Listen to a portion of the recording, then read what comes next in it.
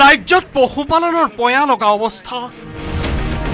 পশুধনৰ দৰৱ লৈ উত্তৰ প্ৰদেশৰ পৰা আহিব লগা হৈছে বিক্ৰেতা।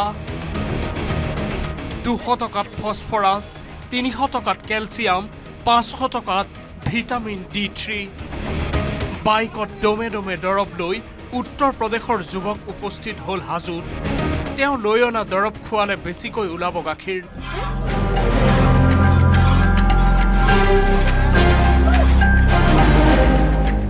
ভাল হ'ব পশুধনৰ স্বাস্থ্য।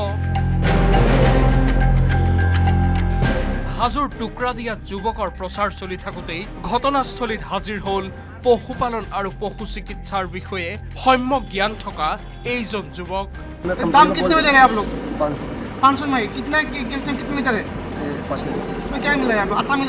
তাৰ পাছতেই চিচিং ফাগ হৈ গ'ল উত্তৰ প্ৰদেশৰ পৰা পশুধনৰ বাবে যুৱকে লৈ অনা দৰৱৰ আঁৰৰ কাহিনী। দুশৰ পৰা তিনিশ টকাৰ ভিতৰত phosphorus calcium vitamin D three থকা দৰৱ দিয়াটো কোনোপধ্যে সম্ভৱ নহয় বুলি গম পোৱাৰ পাছতেই ৰাইজে আবদ্ধ কৰিলে যুৱকক। যিটো কেলছিয়াম আমি সাধাৰণতে মেনুফেকচাৰ হয় তাত যিটো আমি ইনগ্ৰিডিয়েণ্টছ দিয়া হয়। সেইটো ইনগ্ৰিডিয়েণ্টছত আপোনাক কোনো পধ্যে পাঁচশ টকা বা দুশ টকাত দিব নোৱাৰে। উত্তৰ প্ৰদেশৰ নাম নোহোৱা প্ৰতিষ্ঠানৰ পৰিচয় পত্ৰ দেখুৱাইও সাৰি যাব নোৱাৰিলে যুৱকে। উত্তৰ প্ৰদেশৰ যুৱকজনক সাৱধান বাণী শুনাই হাজোৰ পৰা ওলাই যোৱাৰ বাট দেখুৱাই দিলে স্থানীয় লোকে। তেওঁলোক বাহিৰৰ পৰা আহি কিনে কোনো ধৰণৰ অনুজ্ঞাপত্ৰ নোহোৱাকৈ ইয়াতে ঘৰে ঘৰে গৈ কিনে দুশ টকাত দিছে।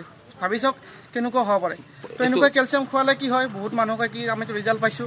গাখীৰ ঠিকে ওলাইছে। অপকাৰ হ'ব পাৰে নেকি? হয় মই কৈ আছোঁ উপকাৰ প্ৰথম প্ৰথম গাখীৰ ঠিকে দেখিব। বোলে গাখীৰ বুঢ়ে বাঢ়িছে কিন্তু লাহে লাহে গৰুজনী কি হয়? অফিট হোৱা আৰম্ভ হৈ যায়।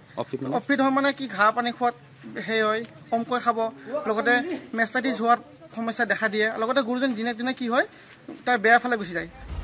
হাজোৰ টুকুৰা দিয়াৰ এই ঘটনাই উদঙাই দিলে পশু চিকিৎসাৰ নামত ৰাজ্যত চলি থকা অবৈধ কাৰ্যকলাপ যাৰ বাবে দায়ী পশুপালন আৰু পশু চিকিৎসাৰ বাবে আছুতীয়াকৈ থকা ব্যাগুম বিভাগটো।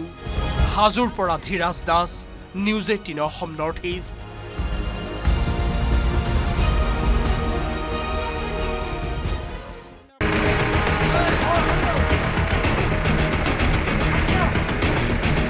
ৰাজ্যত পশুপালনৰ পয়া লগা অৱস্থা। পশুধনৰ দৰৱ লৈ উত্তৰ প্ৰদেশৰ পৰা আহিব লগা হৈছে বিক্ৰেতা।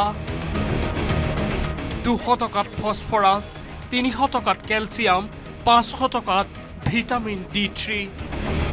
বাইকত দমে দমে দৰৱ লৈ উত্তৰ প্ৰদেশৰ যুৱক উপস্থিত হ'ল হাজোত। তেওঁ লৈ অনা দৰৱ খোৱালে বেছিকৈ ওলাব গাখীৰ।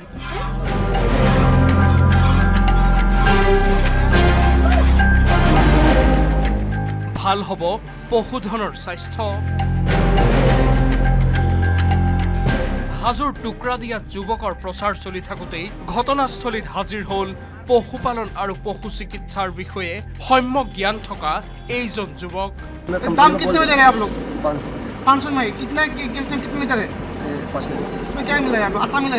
তাৰ পাছতেই চিচিং ফাক হৈ গ'ল উত্তৰ প্ৰদেশৰ পৰা পশুধনৰ বাবে যুৱকে লৈ অনা দৰৱৰ আঁৰৰ কাহিনী।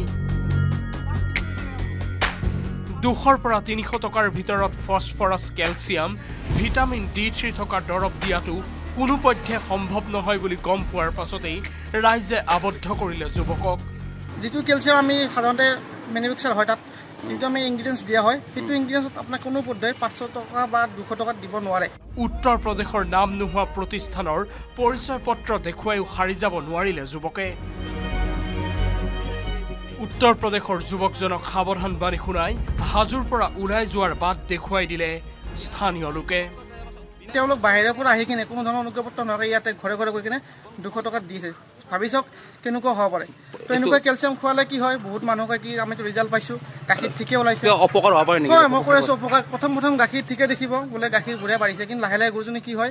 অফিট হোৱা আৰম্ভ হৈ যায়। অফিট হয় মানে কি? ঘাঁহ পানী খোৱাত সেই হয় কমকৈ খাব। লগতে মেষ্টাইটিছ হোৱাৰ সমস্যা দেখা দিয়ে। লগতে গৰুজনী দিনে দিনে কি হয়? তাৰ বেয়া ফালে গুচি যায়। হাজোৰ টুকুৰা দিয়াৰ এই ঘটনাই উদঙাই দিলে পশু চিকিৎসাৰ নামত ৰাজ্যত চলি থকা অবৈধ কাৰ্যকলাপ যাৰ বাবে দায়ী পশুপালন আৰু পশু চিকিৎসাৰ বাবে আছুতীয়াকৈ থকা ব্যাগুম বিভাগটো। হাজোৰ পৰা Dhiraj Das news eighteen Assam north east.